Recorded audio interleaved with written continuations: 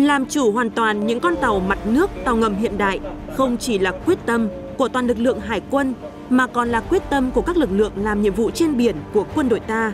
luôn là điểm tựa vững chắc cho ngư dân vươn khơi bám biển. Đó là lý do mà rất nhiều nhóm giải pháp đồng bộ đã được đưa ra để nâng cao chất lượng huấn luyện vừa toàn diện vừa chuyên sâu, đảm bảo tàu đi biển tự tin hoàn thành mọi nhiệm vụ được giao, dù là khó khăn gian khổ đến đâu. Để giảm thiểu cái ờ, rủi ro trong cái quá trình ờ, hoạt động khai thác vũ khí trang bị kỹ thuật, đặc biệt là đối với cái ờ, máy phát thì để đảm bảo cái nguồn điện liên tục cho các cái vũ khí trang bị của tàu khi hoạt động trên biển. Thứ hai là nó giảm thiểu cái công sức vận hành khai thác của người cán bộ nhân viên kỹ thuật trong cái quá trình xảy ra cái sự cố hỏng hóc thứ ba là ờ, nó tăng thêm cái cái tính ờ, làm việc ổn định và tăng thêm ờ, cái sức sống cho cái vũ khí trang bị kỹ thuật. Có rất nhiều yếu tố để đảm bảo nâng cao chất lượng huấn luyện làm chủ trên những con tàu hải quân hiện đại. Ngoài sự chủ động về công tác kỹ thuật, việc học tập ngoại ngữ tiếng Nga, phục vụ đọc tài liệu và tiếng Anh để hỗ trợ cán bộ thủy thủ tự tin giao tiếp trong tham gia đối ngoại quân sự cũng rất được chú trọng. Giảng viên không đâu xa chính là những cán bộ tàu được học tập bài bản tại nước bạn và có nhiều cơ hội tham gia các hoạt động đối ngoại trên biển. Không chỉ là học tập, trao đổi kiến thức hàng hải, mà còn là giao lưu văn hóa, văn nghệ, thể thao với nước bạn. Nên trình độ ngoại ngữ phải khá linh hoạt, có chiều sâu. Vì thế, những giờ học ngoại ngữ tại tàu, ai cũng cố gắng tham gia và làm bài tập thực hành đầy đủ nhất. Ngoại ngữ chuyên ngành tiếng Nga cũng được áp dụng ngay qua cầm tay chỉ việc trên các trang thiết bị hiện có trên tàu. Nữ đoàn 162 nằm trong nữ đoàn hiện đại nhất quân chủng Hải quân. Tiếng Nga trở thành một ngôn ngữ có ý nghĩa hết sức là quan trọng. Được sự tạo điều kiện quan tâm của Đảng ủy chỉ huy nữ đoàn mở lớp tiếng Nga đã giúp cho tôi có cơ hội được tiếp xúc gần hơn với ngôn ngữ Nga. Trong ờ, công tác ờ, đối ngoại thì ờ, tiếng Anh giao tiếp đóng vai trò vị trí rất là quan trọng. Nó góp phần vào ờ, việc thực hiện thắng lợi cái nhiệm vụ đối ngoại của đơn vị. Ờ, nó tham gia trực tiếp vào các cái nhiệm vụ trên biển như huấn luyện à, hàng hải, huấn luyện thông tin, huấn luyện à, hiệp đồng, tham gia tìm kiếm cứu nạn và duyệt binh tàu quốc tế. Đơn vị đang duy trì tổ chức huấn luyện ngoại ngữ dưới 3 hình thức.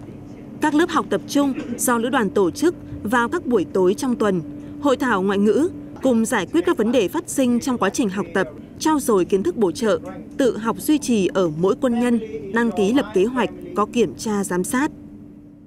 Các tài liệu đã được ờ, biên soạn và cung cấp đầy đủ xong cái quá trình ờ, làm việc giữa người và vũ khí trang bị, mọi giao diện đều bằng tiếng Nga. Chính vì vậy, chúng tôi luôn coi tiếng Nga và ờ, nói riêng và ngoại ngữ nói chung đó là một cái chìa khóa thành công chìa quan công và có ý nghĩa hết sức quan trọng không chỉ riêng gì cho công tác huấn luyện chiến đấu huấn luyện làm chủ vũ khí trang bị kỹ thuật mới mà còn nó đáp ứng cái yêu cầu nhiệm vụ ờ, xây dựng hải quân nhân dân Việt Nam ờ, trong tình hình mới. Không chỉ phấn đấu có kỹ thuật chuyên sâu, ngoại ngữ giỏi, toàn lữ đoàn còn phát động phong trào thi đua rèn luyện thể lực. Bên cạnh các bộ môn như chạy dài, thể thao đa năng, đặc trùng, nội dung bơi biển được hết sức chú trọng bởi đó là kỹ năng sinh tồn quan trọng để cán bộ chiến sĩ đảm bảo an toàn cho mình và giúp đỡ đồng đội rất thiết thực khi đi biển. Tiêu chí về thể lực đã trở thành tiêu chí chính thức đánh giá chất lượng học tập, rèn luyện, hoàn thành nhiệm vụ của mỗi cán bộ chiến sĩ khối tàu hải quân. À, bản thân tôi là xác định được uh, môn bơi có vai trò rất quan trọng trong uh, uh, việc hoạt động và công tác trên tàu. Thứ hai là trong quá trình uh, tổ chức uh, huấn luyện uh, thể lực thì tôi tham gia đầy đủ và đồng thời uh, vào đó thì tôi cũng uh, tập các động tác bổ trợ như là chạy dài, uh, bật nhảy tại chỗ hay là hít đất. Ngoài ra thì tôi có uh, hỏi ý kiến các đồng chí bơi giỏi trong lữ đoàn uh, về những cái kỹ năng uh, bơi làm sao cho nó hiệu quả nhất. Làm chủ ngoại ngữ và làm chủ khí tài trang bị là cơ sở quan trọng để các đơn vị thuộc Lữ đoàn 162 tự tin làm chủ các khoa mục huấn luyện tại bến và trên biển.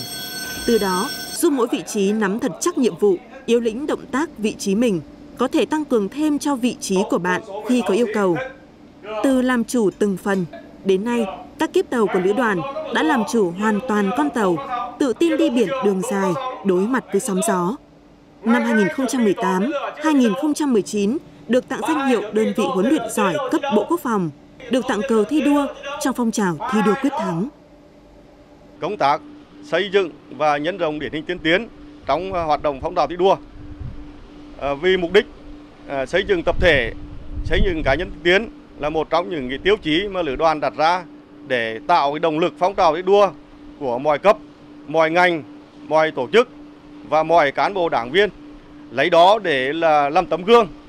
cho cán bộ chiến sĩ trong đơn vị học tập, nói gương và làm theo. Để nâng cao chất lượng huấn luyện, giúp bộ đội khai thác và sử dụng hiệu quả vũ khí trang bị, nhất là vũ khí trang bị mới hiện đại. Các đơn vị tập trung huấn luyện cơ bản, chuyên sâu. Trong đó, chú trọng huấn luyện làm chủ cho từng vị trí, nâng cao khả năng cơ động và triển khai chiến đấu sát với các phương án bảo vệ chủ quyền biển đảo. Điều này không chỉ giúp nâng cao năng lực tổ chức chỉ huy hiệp đồng, sẵn sàng chiến đấu, mà còn giúp những người lính biển tích lũy kinh nghiệm sử dụng vũ khí trang bị kỹ thuật trong các tình huống khác nhau. Ngoài việc duy trì các chế độ, lực lượng, phương tiện sẵn sàng chiến đấu, các cụm lực lượng hải quân lấy nòng cốt là các vùng hải quân cũng rất chú trọng tổ chức hiệp đồng, chuẩn bị lực lượng, nhất là đối với các lực lượng ngoài quân chủng. Đối với ờ, người ờ, cán bộ huấn luyện thì tôi phải thường xuyên đổi mới các phương pháp huấn luyện, phải ờ, đi dự các cái à, buổi huấn luyện của các đầu bạn, các cái ngành bạn để học hỏi những cái phương pháp huấn luyện mới và à, rút kinh nghiệm cho bản thân. Ngoài việc duy trì các cái chế độ và lực lượng phương tiện sẵn sàng chiến đấu thì chúng tôi cũng rất chú trọng đến cái việc là tổ chức hiệp đồng chuẩn bị lực lượng nhất là đối với các cái à, lực lượng ngoài quân chủng. Với việc đầu tư bài bản chính quy ngay từ đầu, Lữ đoàn 189 nhanh chóng trở thành một trong những đơn vị vững mạnh toàn diện, mẫu mực tiêu biểu với nhiều mô hình cách làm mà toàn quân có thể học hỏi. Là một trong hai đơn vị được thành lập đầu tiên, tàu ngầm 183 thành phố Hồ Chí Minh luôn là đơn vị dẫn đầu trong công tác huấn luyện. Chỉ huy lữ đoàn và toàn tàu xác định thông qua huấn luyện để nâng cao tay nghề, đào sâu chuyên môn và khả năng thực hành các tình huống tại tàu và khi đi biển. Đối với tàu ngầm, nếu tình trạng kỹ thuật, vũ khí trang bị không đảm bảo thì tàu sẽ không đi biển thực hiện nhiệm vụ. Do đó, chúng tôi luôn quán triệt sâu sắc các chỉ thị, quy định của trên về công tác kỹ thuật, đặc biệt thực hiện nghiêm 50 trong huấn luyện tàu ngầm. Đến nay, từ các kiếp tàu kiểu mẫu, lữ đoàn đã thành lập những kiếp tàu rút gọn để tiếp tục đảm nhiệm huấn luyện kiếp mới. Duy trì vừa độc lập khai thác làm chủ, vừa huấn luyện thực hành thay thế chức trách trong từng vị trí. Đơn vị tận dụng tối đa các hệ thống mô phỏng tại trung tâm huấn luyện. Khi thành thạo, mới đưa bộ đội xuống thao tác dưới tàu. Xây dựng cái lòng say mê, yêu mến nghề nghiệp, ờ, ý thức giữ gìn bảo quản vũ khí trang thiết bị kỹ thuật cũng như là giữ gìn chính ngôi nhà của mình và nâng cao ý thức ờ, trách nhiệm bảo vệ chủ quyền biển đảo thêm lục địa thiêng liêng của tổ quốc xây đắp nên cái tinh thần đoàn kết khắc phục khó khăn ờ, quyết tâm vươn lên hoàn thành xuất sắc nhiệm vụ được giao góp phần xây dựng cái nét đẹp nét văn hóa đặc trưng của thủy thủ tàu ngầm. Những mô hình thi đua trong thực hiện nhiệm vụ như cặp đôi mẫu mực, kiếp tàu rút gọn, bản tin hành trình trên biển, sinh nhật đồng đội trong lòng biển, nghi thức nhập môn của thủy thủ, huấn luyện sát tài liệu, sát thực tế, giám sát chặt chẽ đã trở thành nét văn hóa riêng của lực lượng tàu ngầm, cũng là nét văn hóa đặc trưng của những con tàu hải quân.